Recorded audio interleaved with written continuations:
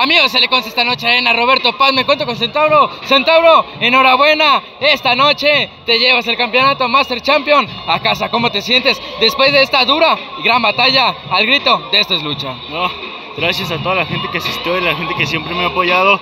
Creo que esto no es merecido he luchado y creo que he luchado bastante para, para conseguir mis objetivos y creo que esto va sumando poco a poco a mis logros dentro de mi carrera. Grandes luchadores que has tenido lona recorrida, que te has enfrentado a ellos, uno de ellos también te, te lo ha dicho, te lo ha reconocido hace poco en mano a mano, esta noche demostraste la calidad, fueron tres gladiadores que estuvieron arriba del cuadrilátero, no fue nada fácil, pero aún así te vas a la victoria, pero aún así, ¿a quién le dedicas esta victoria que te costó lágrimas, sudor y esfuerzo? ¿Cómo te sientes? No, mi familia y a la simple gente que, que desde que debuté me agarró y me apoyó y siempre me siempre daba ese ánimo.